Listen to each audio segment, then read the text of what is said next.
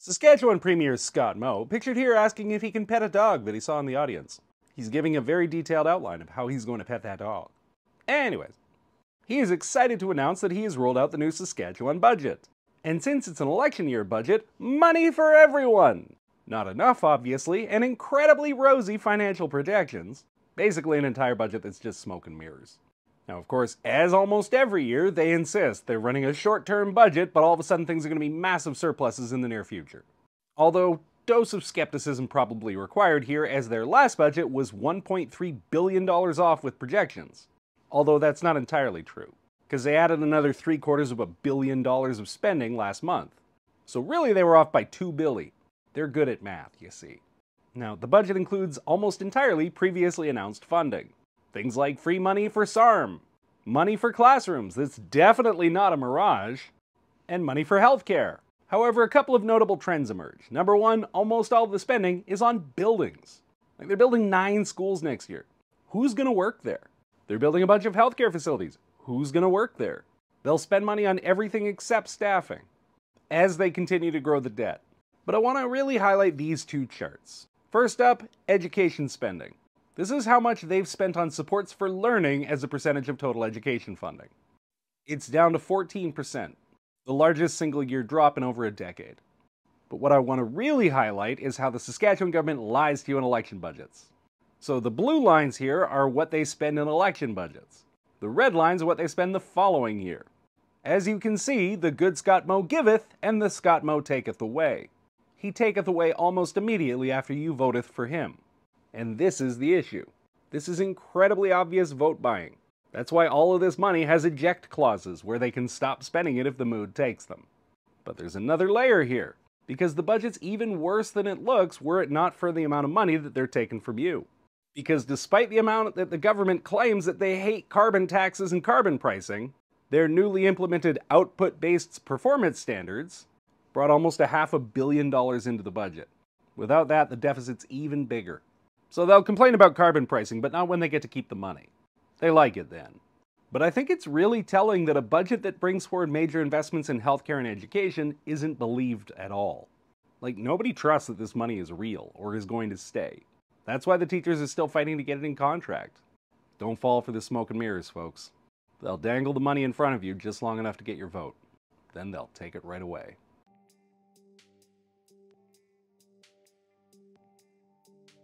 Alberta Premier Danielle Smith, pictured here slightly overdressed for her trip to Tim Hortons, has a new plan to fix Alberta healthcare.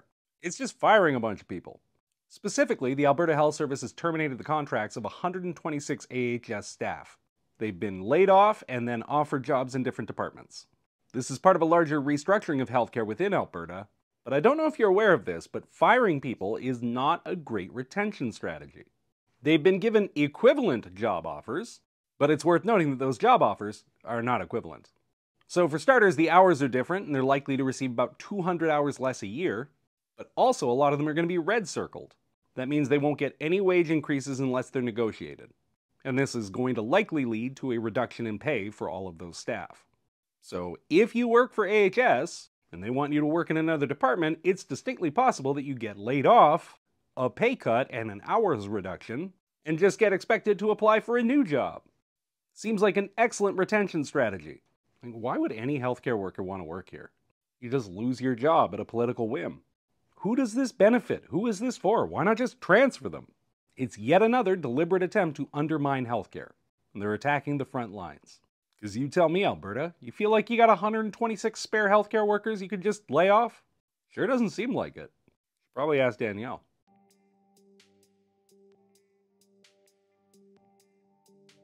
Edmonton Mayor Amarjeet Sohi, pictured here explaining his plan to lower the bar, is lowering the bar, as the city of Edmonton continues to find limitless contempt for the unhoused population.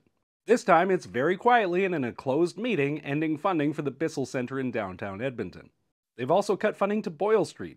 Both of these are community spaces, day shelters, and offer a wide variety of supports for vulnerable populations. Yeah, their funding's just getting cut as Mayor Sohi just has decided that it's the province's responsibility. Like he says, quote, it was never intended to be long-term sustainable support from the city because it's not the city's core responsibility. Oh, well then, it's just fine then. And it's incredibly disingenuous. Literally last year, Sohi called these services, quote, very critical and advocated for this type of shelter. He also moved and voted to declare a homelessness emergency earlier this year. Such an emergency that he's cutting funding for supports.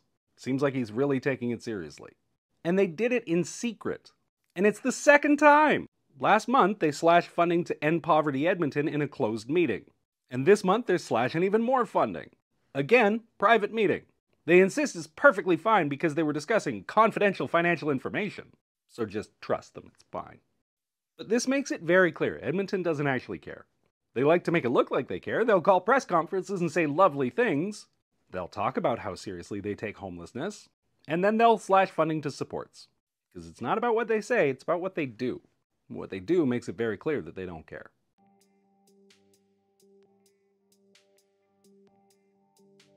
Ontario Premier Doug Ford, pictured here looking adorable in his tiny crown. Seriously, whoever the photographer is, aces. Anyways, Doug has a new and incredibly evil plan. Like, we're talking supervillain level stuff here. As he intends to pave a lake. I am completely serious. As Global News has gotten their hands on internal emails around Phase 2 of the Ontario Place redevelopment. They include a big entertainment complex, a marina, and paving a significant portion of Lake Ontario. How do you pave a lake? I don't know, Doug Ford will come up with something. But this is a huge problem. This whole thing has been secretive and hidden and behind closed doors. The public didn't even really know about a Phase 2. And it doesn't stop at Phase 2. They have big plans for Ontario Place. They don't involve you. They involve taking your money. And paving Lake Ontario. Doug Ford has officially lost his marbles. This man craves nothing but to rule you like a tiny little king. Don't let him.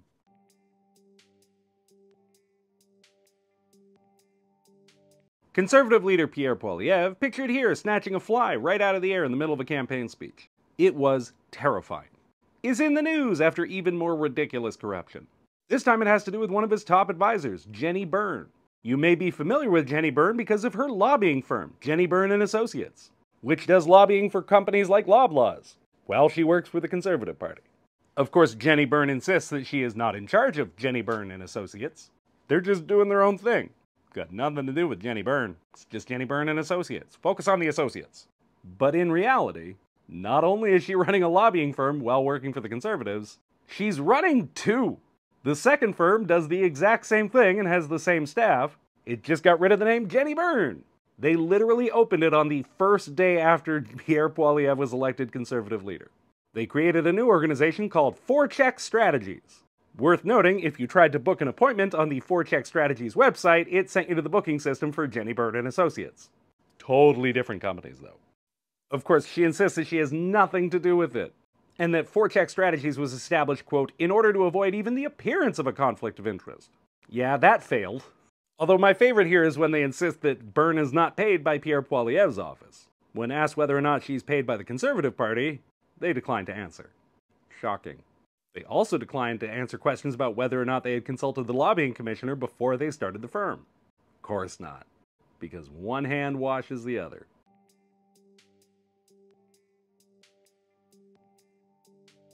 This person asks why I don't just focus on my hometown, Regina. I mean, for starters, I do, but the reason's very simple. Because I have a fairly large platform. So if I think something's important and worth sharing, I share it. That's not limited geographically.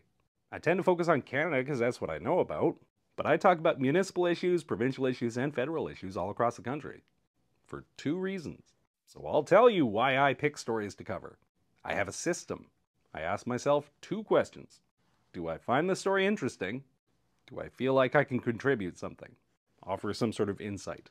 The answers to those two questions are yes, I cover it. Doesn't really matter where it happens. Because I'm not a journalist, I offer commentary and analysis. I break down the news.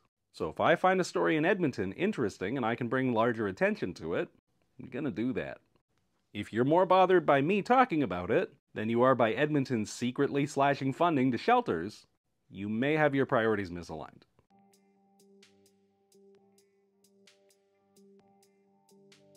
This person's asking why I'm so hyper focused on the West. Because I live there. I lived there my whole life. I talk about the places that I'm familiar with. Like, I don't talk about Quebec politics very often because Quebec politics is complicated. And I don't feel like I have a significant enough knowledge base to talk about it confidently. Known about Saskatchewan, Albertan politics my whole life. Grew up out here. Been a politics nerd just as long. But I think it's important to note that when people don't like your message but have no actual response to it, they just try to undermine the message itself. They don't like what I have to say, so they're going to try to dismiss it by saying, well, he's just hyper focused on the West. So, what's your point? Stop trying to police who can take part in conversations. If I want to talk about what's happening in Edmonton, I'll talk about what's happening in Edmonton. Nobody is making you watch.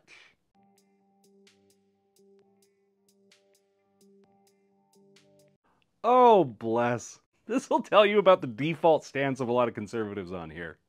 Never seen my videos before. Sees one criticizing Pierre Poilievre and says, Who are you and why don't I hear you go after Trudeau? I don't know, probably because you don't watch those videos? Like, imagine just discovering somebody's content, watching one two minute video, and getting mad at them about the things they, they didn't talk about. Like, what? Like, if it doesn't directly attack Justin Trudeau, they have no interest in hearing it. Like, I feel like if you marketed a breakfast cereal called F Trudeau that was just a box of broken glass and nails, it'd sell like hotcakes. They'd buy it by the bushel. They'd call them F Trudeaus. Get it with the O's? Eh?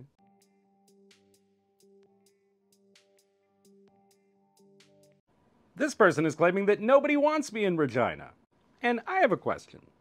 Why do you say things like this? Why do people come into internet comment sections and say this?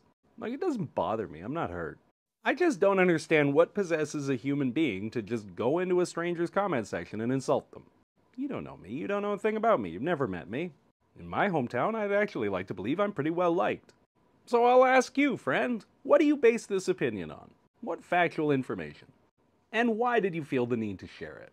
Do you think this makes you the good guy? Do you feel better about yourself for having said this? Do you feel like people like you more?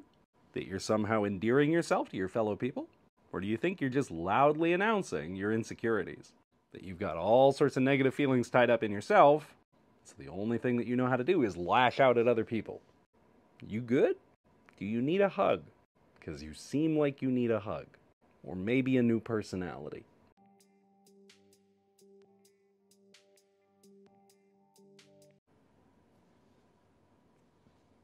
This is the sort of comments that TikTok is fine with. Like, if I call somebody a jerk on here, I will get a content strike. But somebody actively advocating for me to self harm, that's totally fine. What do you think has to be going on inside someone's head for them to go into another person's comment section and suggest that they take their own life? That seems pretty bleak. Like, are you really that removed from the rest of humanity that you see somebody that you disagree with? This is what you decide to say? Delete this app. Throw your phone in the ocean. Touch some grass.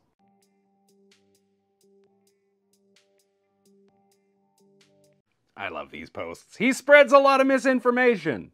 Okay, be specific. Name it. What misinformation have I shared? I mean, on rare occasion I've had to issue a correction, but I make sure to research what I say. Before I make a claim, I verify it, and it's usually floating behind my head.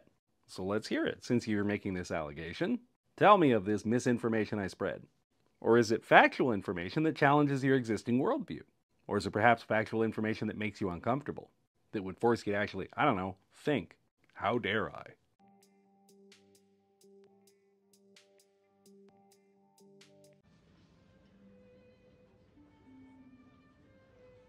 How'd that get in there?